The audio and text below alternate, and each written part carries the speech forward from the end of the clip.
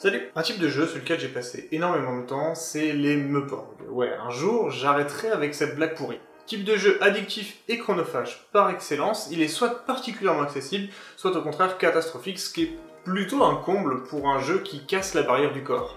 Pendant de très nombreuses années, et encore aujourd'hui, j'ai côtoyé plaines, forêts et donjons sur divers jeux en ligne comme World of Warcraft, Guild Wars ou encore Dofus. Par contre, cette seconde vie n'a bien sûr pas été toujours simple, notamment du fait de mon handicap.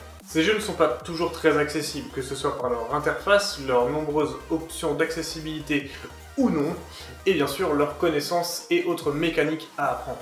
Oui, pour ceux qui ont joué à World of Warcraft ou Final Fantasy XIV par exemple, vous le savez, les connaissances à apprendre, que ce soit sur les stratégies de donjon, les cycles des sorts, la classe de vos adversaires, etc. Ces choses ne sont bien sûr pas très accessibles à de nombreux handicaps mentaux, ainsi qu'aux non-lecteurs. D'ailleurs, pour contrer en partie le problème de non-lecture, le doublage est un très bon outil, chose qui a été fait en partie sur leur jeu pour Final Fantasy XIV et World of Warcraft que l'on vient de citer. Cela nous arrange puisqu'aujourd'hui ce sont les deux leaders en nombre de joueurs du marché du MMORPG.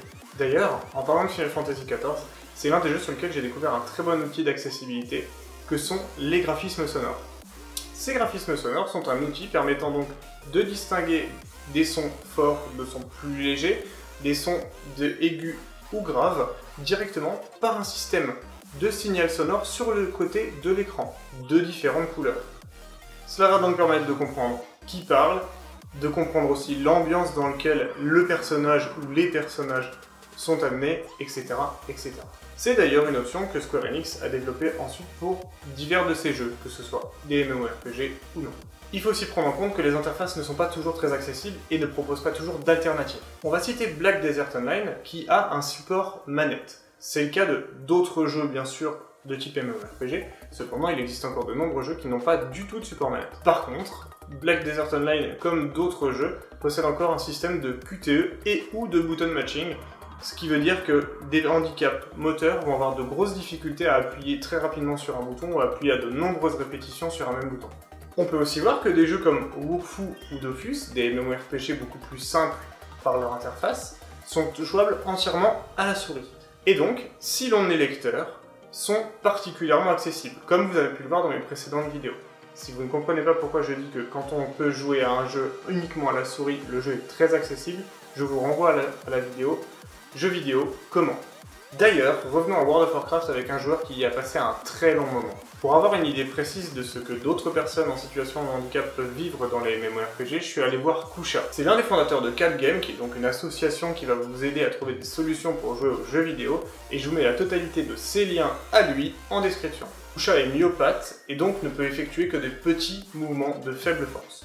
Il a commencé WoW quasiment depuis son départ et a pu jouer de manière traditionnelle, j'entends clavier-souris, jusqu'à peu près en 2010. Cependant, au fur et à mesure du temps, il a fini par perdre en mobilité et le jeu est devenu de plus en plus difficile pour lui. Il s'est du coup intéressé aux solutions d'accessibilité du jeu vidéo, jusqu'à en devenir aujourd'hui l'une des personnes ayant le plus de connaissances dans ce domaine en France. Début 2016, il a donc décidé de récupérer la totalité de ses connaissances et de les mettre à son propre service pour reprendre WoW en jouant une classe facile, à savoir chasseur spébette. Vous vous calmez tout de suite, c'est pas moi qui dis que chasseur spébette c'est facile, c'est lui.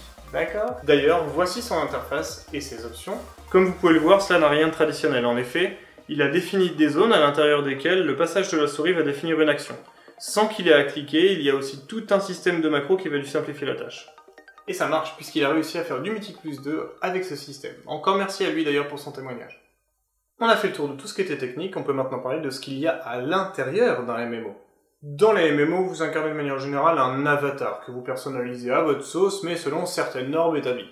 Et même si certains créateurs de personnages sont particulièrement complets, on citait tout à l'heure Black Desert Online, on aurait aussi pu citer Terra par exemple, qui marche très bien.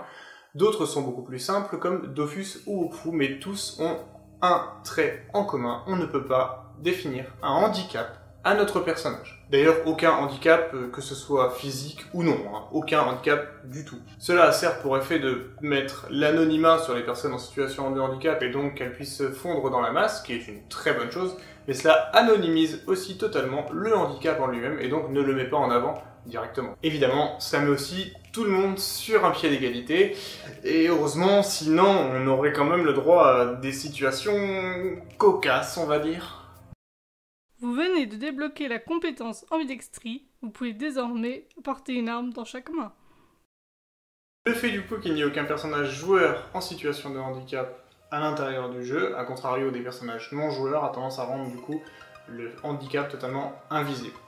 Et non, le fait d'être dans l'alliance dans World of Warcraft n'est pas un handicap. Pour finir, n'oublions pas que le MMORPG est le type de jeu idéal pour sociabiliser, et quoi de plus difficile justement que de sociabiliser lorsqu'on est en situation de handicap lourd et que l'on ne peut sortir de chez soi. C'est tout pour cette vidéo, je vous souhaite donc une excellente journée, une excellente soirée comme vous le souhaitez. Je vous dis à très bientôt, n'hésitez surtout pas et n'oubliez surtout pas de vous abonner à ma chaîne, de me suivre sur Twitter, sur Facebook, sur Instagram, sur tout ce que vous voulez, et je vous dis à très vite. Ciao, bye bye.